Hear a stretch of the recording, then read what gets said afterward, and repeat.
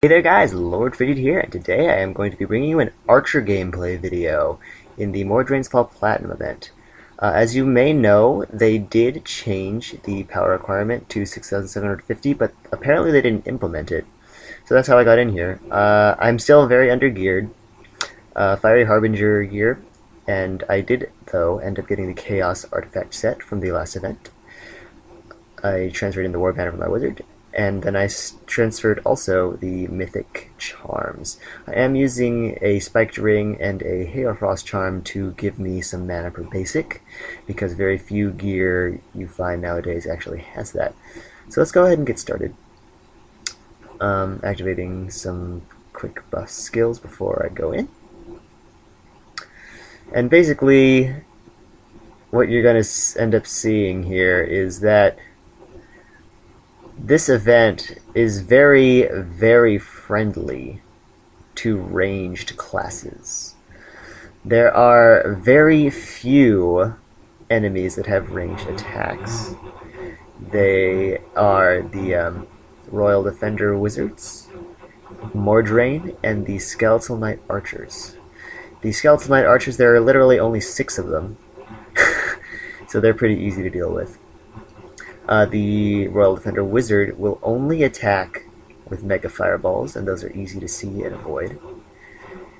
And Mordrain himself will do range attacks primarily with this Blade Wave move that comes from the ground but there, you saw it.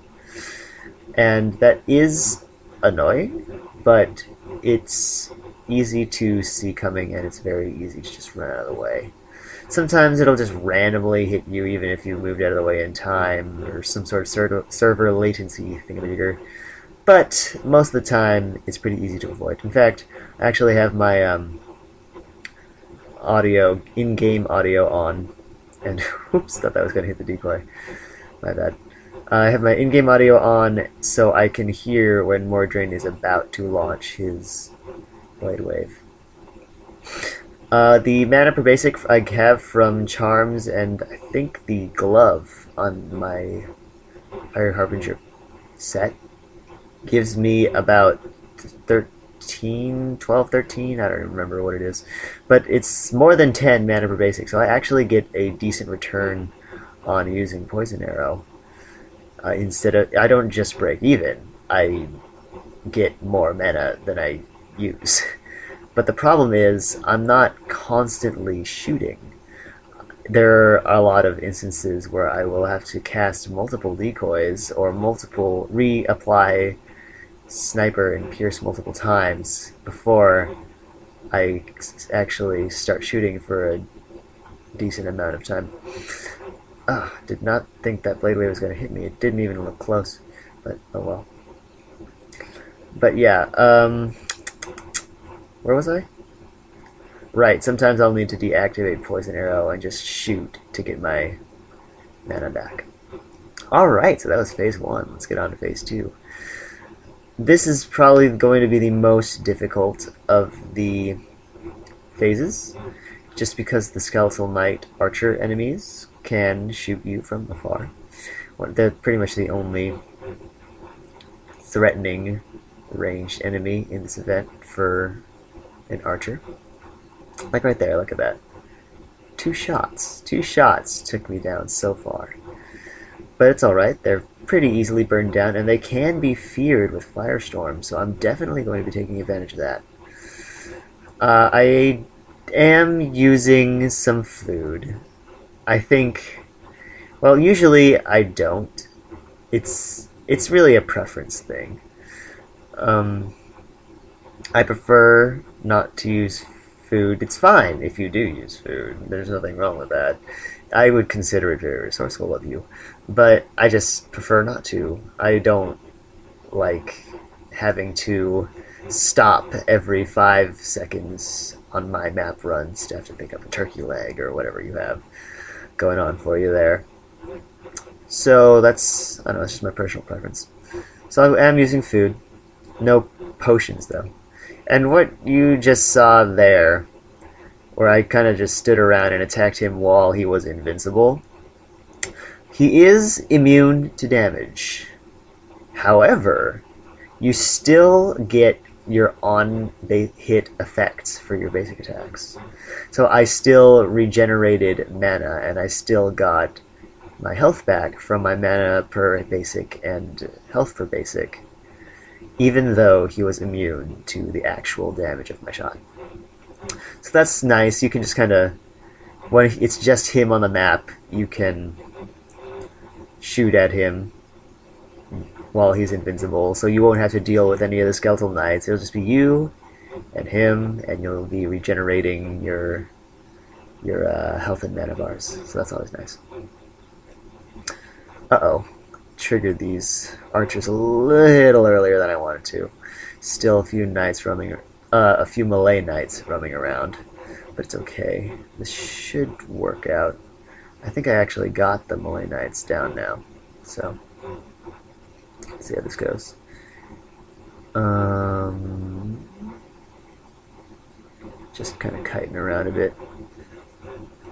I wish I didn't have to, but the state of undergearedness of my archer is such that I need to do things like spam decoy and kite around a lot.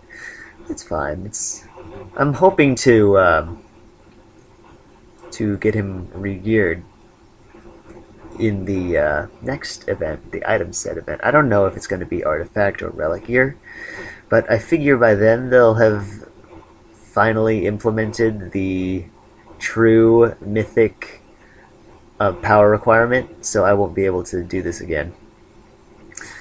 And I don't know if I'll be able to. This class, this event, like I mentioned, is very ranged class friendly. The next one might not be so ranged class friendly.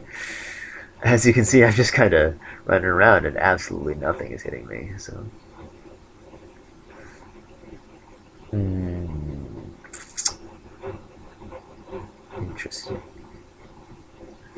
So now we've gotten to the point where Mordrain will start using his swords from the sky aerial attack. And that adds a little bit of difficulty, but not too much. It's not that hard to get out of, so. What I am a little worried about, though, is dealing with the one where he summons multiple blades from the ceiling in rapid succession. I don't have a whole lot of experience dealing with that because usually when I play events at the platinum difficulty, I am on my wizard and I kill him before he has a chance to start doing that. But here it's definitely a concern. Definitely a concern. So we'll see how that goes. Hopefully it won't be too bad. Sort of cast this decoy, get the suicide ghouls off me. Okay, so looks like there'll be safe spots that I can run to, for the most part. Um, I need to turn off poison arrow at some point. Here, just get my mana back. Gives another sword. Blade wave probably soon. Yeah, there it is.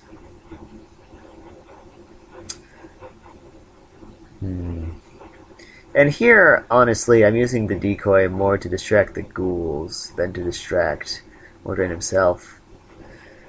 Because I don't really need to distract Mordrain. He's just so slow that ooh, this is going to be tricky. Made it! Woohoo! Between two blades and a fireball. Sweet. Okay. So yeah, Mordrain doesn't really move that fast, so I don't really need to decoy to distract him. It's mostly just the uh, suicide ghouls.